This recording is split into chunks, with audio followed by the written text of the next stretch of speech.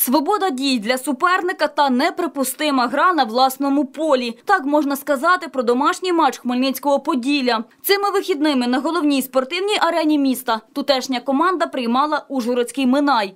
Хоча гості і грали на виїзді, втім почували себе як вдома. Мы хорошо изучили соперника, знали его сильные стороны, э, видели игру на выезде, разобрали ее, знали, что команда хорошо работает с мячом и попытались их оставить без мяча.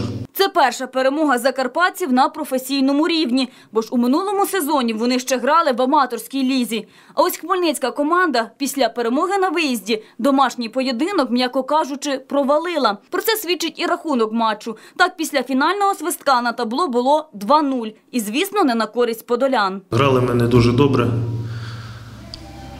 О, По ігрі Минай виглядав краще, створив більш опасних моментів, забив два гола. Нас не хватало, нас не хватало агресії, не хватало. Навіть чомусь не хватало бажання, тільки не пойму чому, е, при своїх болівальниках. Так грати на власному полі, каже головний тренер Поділля, просто неприпустимо. А тому після матчу, запевняє Віталій Костишин, команда проаналізує гру та до дрібниць розбере кожну помилку. Грою я не задоволений. Е, Ми мало створили, дали супернику створити набагато більше, е, граючи в себе вдома. Так неможливо е, здобувати гарний результат, позитивний для нас, коли ми даємо супернику стільки свободних дій робити.